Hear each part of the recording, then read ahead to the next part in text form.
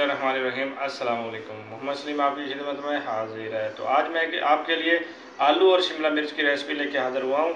ये आलू और शिमला मिर्च की रेसिपी कैसे बनेगी और किन किन चीज़ों से बनेगी, आज मैं आपको बताऊँगा। उससे पहले मेरी आपसे छोटी सी रिक्वेस्ट है। प्लीज़ अगर हमारे चैनल पर नए हैं तो हमारा जो चैनल है, दिलदार फ़ूड रेसिपी, हमारे चैनल को लाइक कर दिया करें शेयर कर दिया करें और सब्सक्राइब कर दिया करें।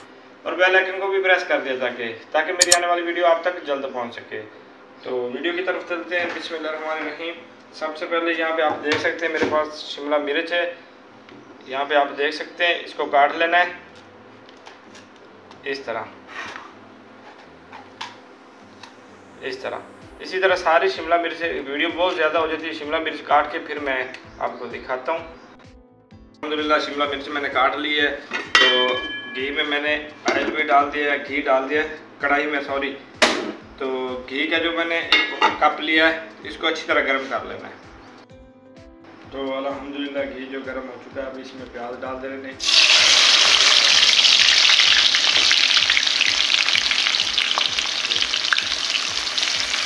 प्याज को इसमें तो अलहमदिल्ला यहाँ पे आप देख सकते हैं, अब प्याज का जो हल्का सा कलर ब्राउन करेंगे, फिर इसमें डालेंगे अदरक लहसन। तो हल्का सा कलर पहले ब्लॉक ब्राउन कर लेते हैं। तो अब इसमें अदरक लहसुन का पेस्ट डाल देना है। इस तरफ़ एक चम्मच मेरे पास वो था। अदरक लहसुन का पेस्ट ये डाल दिया है। तो अब इसको अच्छी तरह ब्राउन कर लेना आप देख सकते हैं प्याज जो ब्राउन हो चुके हैं। तो अब इसमें मैंने बड़े साइज़ का टमाटर काटा है, ये डाल देना है। ये शिमला मिर्च के फ़ायदे भी बहुत हैं।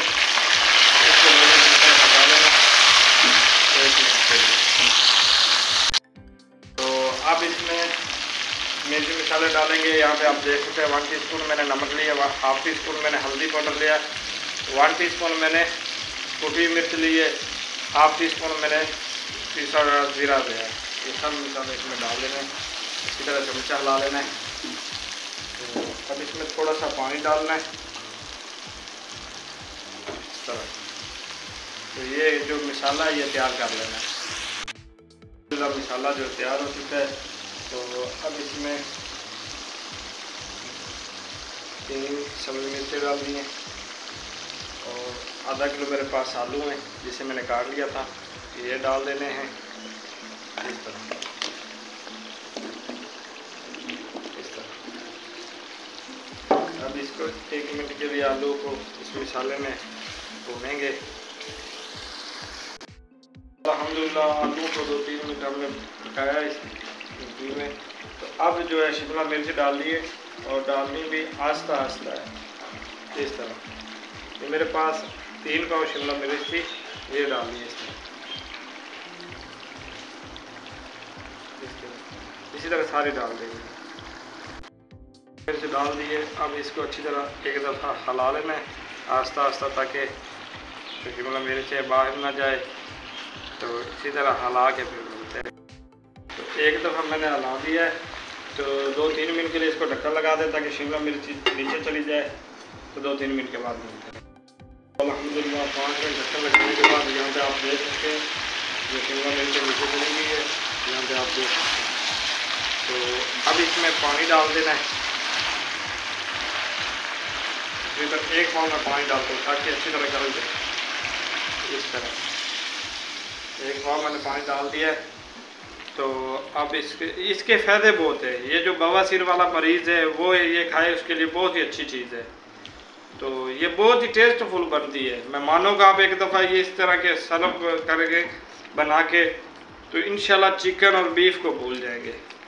तो अब इसमें 10 मिनट के लिए ढक्कन लगा देता हूँ, हल्की आँच पे। 10 मिनट के अंदर ये अच्छी तरह गल जाएगी। अलहमदिल्ला आप देख सकते हैं, दस मिनट के बाद तो ये कंडीशन आ चुकी है। तो अब इसमें हमें सब्ज़ धनिया डालनी है। ये बहुत ही अच्छी रेसिपी बनती है। यहाँ पे आप देख सकते हैं, पानी जो खुश्क हो गया बीच बीच में मैंने चम्मच भी हिलाता रहा हूँ। तो ये शिमला मिर्च आपने एक बार ज़रूर ट्राई करनी है बना के। तो आज यहाँ पे देख सकते हैं धनिया मैंने डाल दिए हैं। जो भी सब्ज़ी या जो भी रेसिपी है, हर रेसिपी की शान होती है धनिया, सब्ज़ धनिया। फिर से ढक्कन दो मिनट के लिए लगा देना है सॉरी फिर से दो मिनट के लिए ढक्कन लगा देना है तो दो मिनट के बाद दो मिनट के बाद फ्लेम को ऑफ़ कर देना है इस तरह तो माशाल्लाह ढक्कन उतार के देखते हैं। माशाल्लाह, अल्हम्दुलिल्लाह, आप देख सकते हैं। तो आज जो मैंने डिश तैयार नहीं करनी, यहाँ पे आप डिश यही कढ़ाई है, आप देख सकते हैं, माशाल्लाह कितनी खूबसूरत, कितनी अच्छी लुक बनी है और बहुत ही अच्छी रेसिपी है। तो अगर आज की हमारी रेसिपी शिमला मिर्च और आलू की रेसिपी अच्छी लगी हो तो प्लीज़ मेरी आपसे छोटी सी रिक्वेस्ट है। अगर आप हमारे चैनल पर नए हैं तो हमारा जो चैनल है दिलदार फ़ूड रेसिपी हमारे चैनल को लाइक कर दें सब्सक्राइब कर दें और बेल आइकन को भी प्रेस कर दें, ताकि मेरी आने वाली वीडियो आप तक जल्द पहुँच सके। तो प्लीज़ हमारी सपोर्ट भी किया करें। आप सपोर्ट करेंगे तो इन हम कामयाब हो जाएँगे। तो अब मुझे दीजिए इजाज़त, अपना ख्याल रखना, दुआओं में याद रखना। मैं भी अल्लाह तला से यही दुआ करता हूँ कि आप जहाँ भी रहें, खुश रहें, आबाद रहें, हँसते रहें, मुस्कुराते रहें। अल्लाह पाक आपको दुनिया और आखिरत की तमाम खुशियाँ नसीब फरमाए। अल्लाह हाफिज।